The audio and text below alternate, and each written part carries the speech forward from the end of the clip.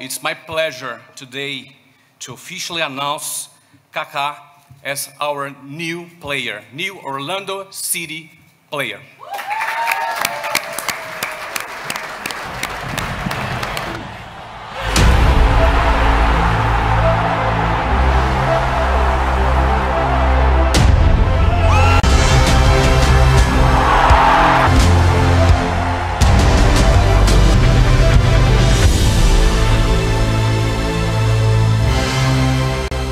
Contract with Orlando City ends this this year. I I've been thinking a lot, and my decision, my final decision, is not to to renew my contract with this this club.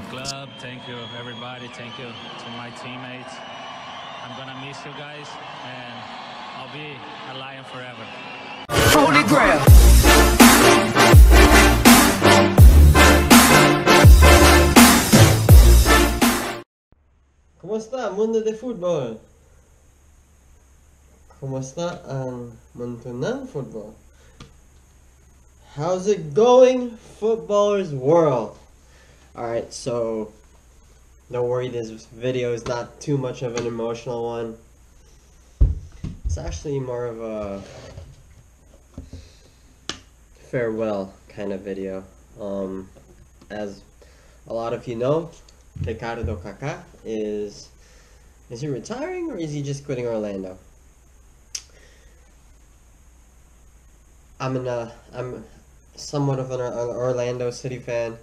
When it comes to MLS, there's only three teams I support: LA Galaxy, because growing up I watched David Beckham and he moved there. I have family in LA, and they were just good for so many years. Attractive football for an American side, and I'll just end with David Beckham. And then Orlando City, because Florida is the state I spent the last four and a half years in. Um, it's my home away from home. It's it's basically my home in America, and there's only one MLS team when it comes to Florida, and that's Orlando City. I've watched three, four games, I think, and watching Kaká was amazing. And the last team I support, as you, if you guys follow my channel, is obviously Atlanta United. The stadium is amazing. The players, the team, the the professionalism, profe- the professionalism, the ownership, everything about that club is going to be big in a couple years. Sadly, they lost in the first round of playoffs against Columbus Crew, but that's that's for another video, another story. Not my job. That is not my job. What I want to talk about though is Ricardo Kaká. So he's on the verge of playing his last game for Orlando City. It's a charity match against a Puerto Rican side, obviously to to aid in the relief, disaster relief uh, for the victims of Hurricane Irma. Costco mocha freeze, very good. So if you're in the United States. I'm very sure you're well aware of the devastation caused by Hurricane Irma. I'm in Florida and the state's pretty much messed up. Uh, Puerto Rico and the rest of the Caribbean got hit the most. I'm not gonna say anything political about what the president what the president's been doing, has not been doing. Not my job. That is not my job. But if you're able to help, send some money, send some goods, food, canned goods, whatever, to Puerto Rico. I have a lot of friends from there, and I know it's going to help a lot. Anyway, Kaká. So, when I was a young boy, I was never a fan. He played for Milan. I was a Madrid fan. Milan was another giant in Europe, and you know, you pledge your allegiance. But I had a friend, a teammate. He probably doesn't even uh, think about me at all. But Noel Are, the biggest Ricardo Kaká fan I know. He'd come up to practice in his Kaká shirt. When we played PSP back in the day, we verse each other. He's using Milan or Kaká, you know, that guy. He loves him. when you see like regular people like us like that get inspired by a guy, you know he's great. And for the last four years, he's been the icon of Orlando City soccer. Not four years, two or three years. Yeah, he's been the icon, and um, I actually started my attempt in professional soccer on trial with Orlando City, and if you watched my previous videos, that's where I met Guti. Uh, so he's the, one of the first professional soccer players I interviewed on this vlog. If you want to see his interview, click probably a link down below. I don't know, but so you know, I just wish Kaka farewell. Um, I loved how he played not only with Milan or Sao Paulo. I like how he played with Madrid as well. I mean, obviously he was the second highest uh, transferred, or when he transferred to Real Madrid, he had the second highest transfer fee, and he didn't live up to his potential, but he still had a great season. Similar to James Rodriguez, I think. Um, people expected more, but he was a good player. Didn't work out with the coach's uh, coach's mentality. It was Jose Mourinho, Jose Mourinho at that time, but he was still great. If you look at statistics, he had a decent amount. He had a decent amount of goals. He had a decent amount of assists. He played well for Madrid. Obviously, with Milan, he's a legend. Um, Sao Paulo, obviously, is one of the favorites, and now Orlando City.